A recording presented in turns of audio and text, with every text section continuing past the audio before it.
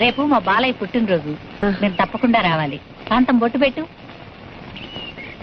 భోజనాలు కూడా అక్కడే మర్చిపోకండి నేను చేసే పని నాకు ఎదుటోడు చెప్తే నాకెక్కడో కాలుద్ది ఏ కాడా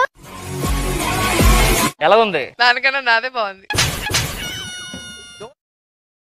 हमारा हर तेलुगु लोग के रगो रगों में एनटीआर का खून बह रहा है ఆపు నేను మాట్లాడేది హిందీ కాదండి वहां से सीख सबक सीख हम सिखा रहे हैं। ఇది హిందీయా ఇది వింటే హిందీని అర్జెంటుగా రాజభాషగా రద్దు చేస్తారు हम नहीं सिर्फ आंध्रा के लोग नहीं मैं आंध्र वालों में गा दो బీచ్ మే అసిస్టెంట్ సీతారాముడు హే ఓ ఖాతా హై ఇంకానేమో బట్టల Sachiv high scene B high ఓ డరాతా హై బెదిరిస్తాడండి नमक हर्राम अभी बोल रहा हूं मैं बाहर आ आके लोगों से अगर लोगों तुम मेरे बात सुनने का है तो सुन नहीं तो मार मार के भगाएंगे तुम्हें మై బచ్చా బట్టల సత్యం లొచ్చా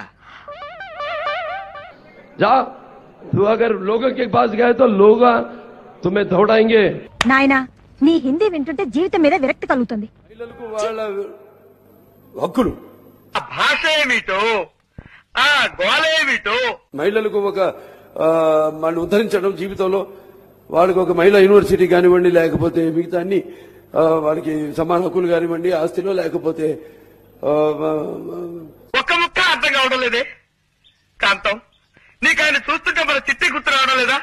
లేదండి. నేను చెప్పడం జరిగింది ముందు. మాట్లాడటం జరిగింది. దాని మీద ఒక సినిమా కూడా నాన్నగారు చేసే సినిమా. దయచేసి ఒక్కసారి గుర్తు తెచ్చుకో కాంతం. నాన్న చిట్టి అని నువ్వు నోరు తెరిచి అరిచావంటే వాడు కథాపేసి పారిపోతాడు. మనకు మనశ్శాంతి లభిస్తుంది. నేనే నిర్మాతకు చెప్పి ఆ చిత్రం చేయడం జరిగింది. అది పవిత్ర ప్రేమ సినిమా అనుకుంటాను. కష్టం అండి. మన చిట్టి ఎప్పుడు ఇలా కథలు చెప్పి బాధ పెట్టేవాడు కాదు.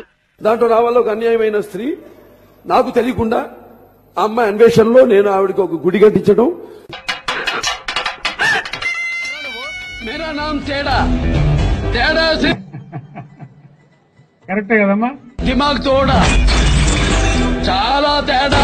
ఏ అరవకు పిచ్చోన్లా. ఎవడబడతాడు ఊరు నేర్చినావు. బీహార్ నీళ్ళు తాగినోడనే తిహార్లో పోయించా. తూ క్యారే హౌలే! ఇదే ఆగం ఇట్ల కొంత ఆగం.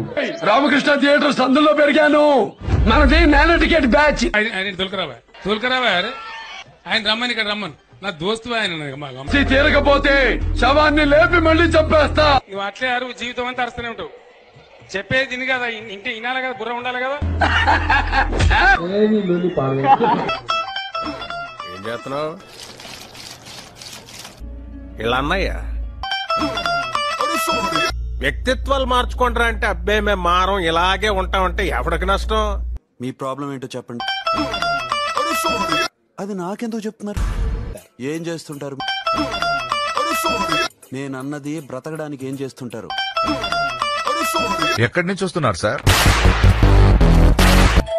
ఇంతకీ ఏమొచ్చు మనకి? ఎప్పుడు చూసినా ఇదే పనిరా?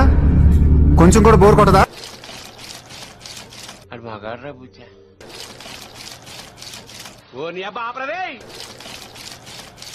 అరే శివ లైఫ్లో ఒకసారి బాడీ వార్నింగ్ బెల్ ఇస్తుంది నా కెపాసిటీ అయిపోయింది అని. అప్పుడు అన్ని బంద్ చేయాలి. రైట్ మొత్తం బంద్ చేయాలి వీడు. వాడు ఎవ్వరి మాట వినట్లేదు సార్ వాడు. వినాలి. లేకపోతే పోతాడు.